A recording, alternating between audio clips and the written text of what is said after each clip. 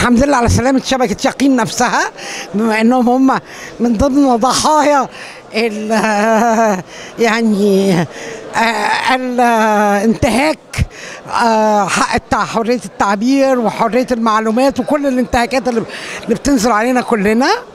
آه، ثانيا أنا عايزة أقول حاجتين. طبعا لأن أنا مامة علاء فالناس عايزة تعرف أخبار علاء. علاء كويس بس علاء لا زلنا في نفس الوضع. من يوم تسعة علاء اتقبض عليه في 28 نوفمبر. أحيل للجنايات في 9 ديسمبر. آه ومن ساعتها ما تحددلوش جلسة.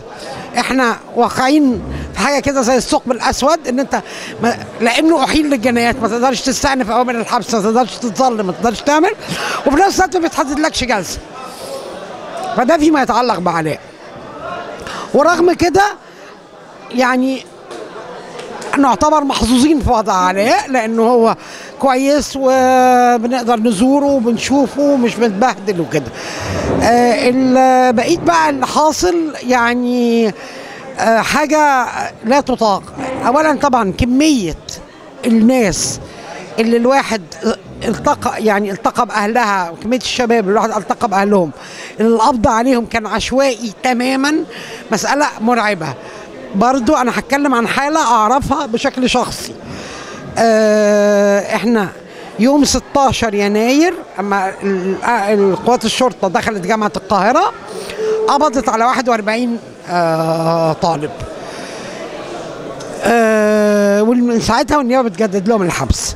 ال 41 طالب دول منهم ثلاثة من علوم. أنا أنا مدرسة في علوم. الثلاثه اللي من علوم كلهم كانوا في امتحانات. وقدمنا للنيابة ما يثبت هذا. يعني مش ده مش كلام نظري.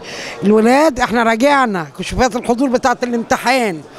وصورنا كشف الحضور والولاد ماضيين فيه وكانوا حاضرين الامتحانات في الوقت اللي كانت الأحداث بتجرى فيه من ثلاثة لخمسة أو من واحدة لثلاثة ورغم كده النيابة عمالة تجدد لهم تجديد في تجديد في تجديد.